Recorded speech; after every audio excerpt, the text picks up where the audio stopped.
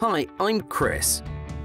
Yesterday I heard a brake noise while braking and noticed my car was pulling to the right while braking. So I bought new Champion brake pads for my car. I know that Champion has a reliable reputation of making quality brake pads. The brake pads are one of the most important parts for yours and others' safety. Champion brake pads deliver smooth and reliable braking power in almost every type of car.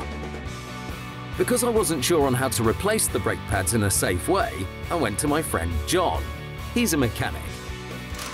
John showed me how to remove and install the brake pads. After the wheel was removed, it was time to see what was wrong with the brake pads. He removed the brake caliper and checked if the brake caliper guide pins could be moved easily. John used the Champion Trouble Tracer chart to check the brake pads. The brake pads from my car showed that they're worn out.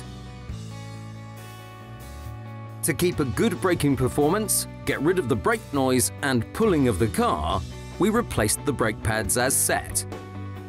He also checked the brake discs. They're okay.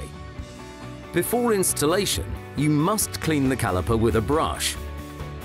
This is to remove dust and to have the brake pads installed with no force. He also pushed back the brake piston to make it possible to install the new pads. Put some brake grease on the contact points of the brake pads with the brake caliper. In case directional pads are used, make sure they're fitted in the right sense of rotation. If your brake pads are equipped with a wear indicator, you also have to install them.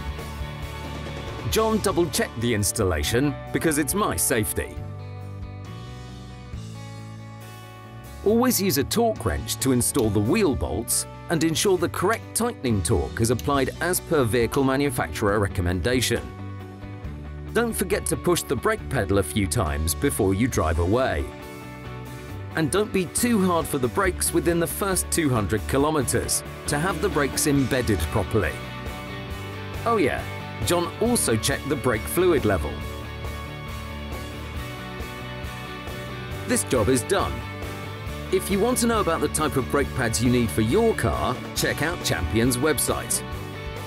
I found the correct type for my car in the Find My Parts section on the Champion website. It describes everything extensively. Anyway, I'm happy with my new brake pads.